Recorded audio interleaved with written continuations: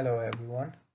Today i'm going to show you how to perform a disk partition in windows 10 so follow me. Open this pc and as you can see i have this 918 gb of local disk c.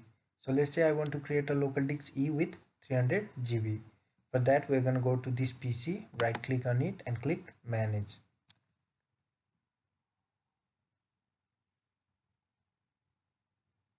after that this tab will show up open disk management. And in this section go to OSC right click on it and click shrink volume. So guys it might take some time but it will show up. You just have to wait.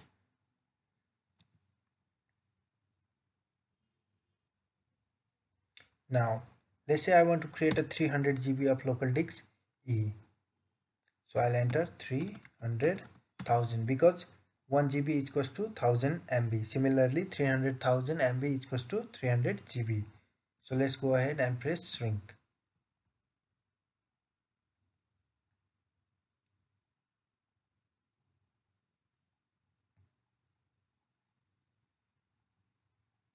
After that, 300 GB of unallocated disk drive will show up. Now right click on it and press new simple volume.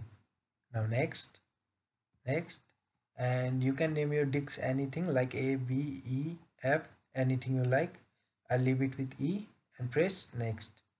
Now you can rename your disks here. I'll enter local disk and press next.